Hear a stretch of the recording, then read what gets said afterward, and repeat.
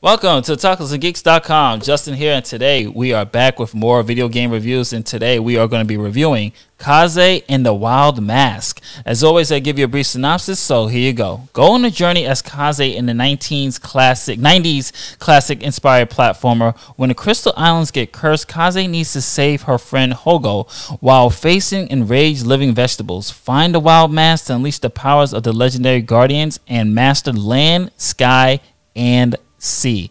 This is a complete love letter to 90s baby, uh, 90s babies, 80s babies, 70s babies those who grew up in the 16 bit, 8 bit era and used to those platforms such as Donkey Kong Country, Super Mario, Ristar, Sonic, you have elements from these type of games in there, and it's just a wonderful experience. I do want to say this really quickly.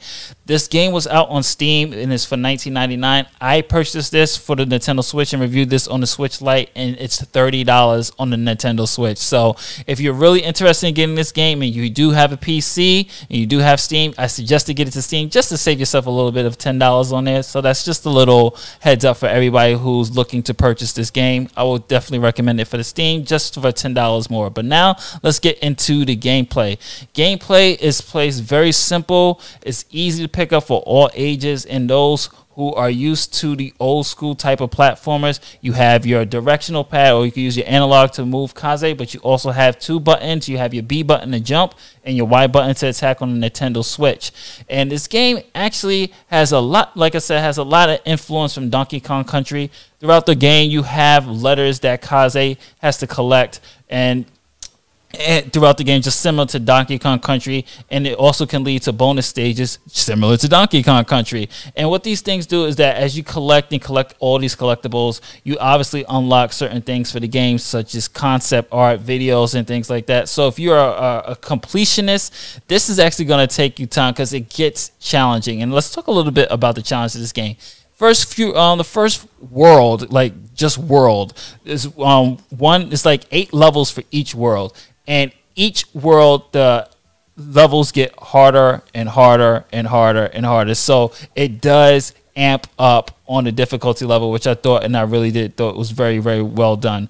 Um, I will have to say that the way the gameplay moves, it's I experienced no frame rate issues. That um, she also has more power to her, as we discussed in the synopsis. Throughout the game, there's going to be levels where you're going to have to get the Wild Mask, and what the Wild Mask does is that it enhances Kaze's abilities depending on the level design. So for this instance, for this level right here, this is an underwater level, so she has like a fish type of mask, so she can breathe, move faster, and able to attack um, enemies. She couldn't be able to do this without the mask because if she was just in her regular bunny form, she is just going to be able to just dive once and then she's going to float back up, which makes it a little bit difficult. So the mask also gives a little bit more strategic elements as you're playing the game. And like I said, it does get challenging. So I died a lot in this game. Not saying that it's hard, but it does get to the point where you really have to feel like it, gives you that 90s feel where you really have to remember your area and remember the timing. Timing is everything, especially in this platformer. So if you have good timing, if you know how to strategize, you're gonna breeze through it. But that's not to say that the bosses aren't challenging because once again,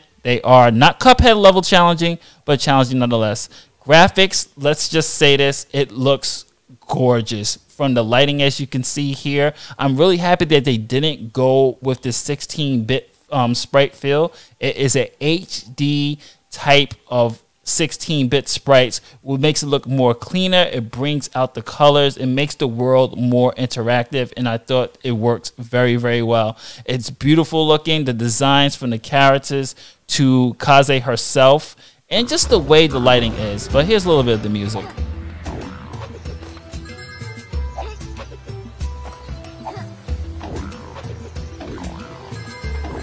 music for me, it's probably the weakest element of the game. It's it does its job, but I felt like the music, it's it doesn't really capture me to like, oh man, I have to go get this soundtrack. But it does enough to complement the environment, complement the game, complement the style and tone that it's going for. But for the most part, the music really didn't sell me on it. So for the final rating, I'm giving this a four out of five stars. I absolutely did love this game, minus the music. Um, this game is a complete love letter, as I said, to the 90s era platformers. It's challenging. It has a great character. I'm definitely would love to see this world again. Definitely would like to see this character again. It's a fun game with some really cool boss battles. It's lengthy, believe it or not. It's going to take you uh, probably, I'll say, at least a good eight hours. Because if you, especially if you're a completionist, because even after you beat the levels, there is a time attack mode, which as you can see right here, which is very challenging. And you're going to be on this game for a while. It's a fun game and four stars. This is Justin from otakusandgeeks.com saying don't forget to like, share, and subscribe and visit otakusandgeeks.com.